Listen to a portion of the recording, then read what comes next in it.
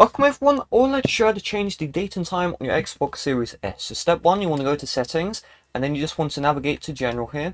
You're going to navigate to personalization, you're going to go to My Home Xbox, and make sure, if you haven't already, you set this to make this My Home Xbox, make this My Home Xbox.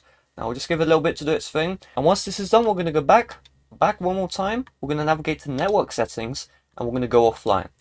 Once we go offline, we need to restart the Xbox Series S console. So all we need to do is, uh, the best way is just hold down on the controller, then click on restart console, restart one more time, and then just wait for this to do its thing. So to be back once the restart has completed. And now once we're back onto the home screen, you just want to make sure that you reconnect your controller.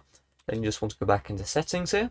Then the final step, system, time, and you're going to see the time and the date. So you can just change this whatever you like. So you can see you know, the date, whatever you want. You can go all the way back, you know, back to the past if you want to. Uh, you also have the time here. And um, yeah, that's really all there is to it. So hopefully this video did help you out. If it did, make sure to leave a like, subscribe if you're brand new. Thanks for watching. See you guys later.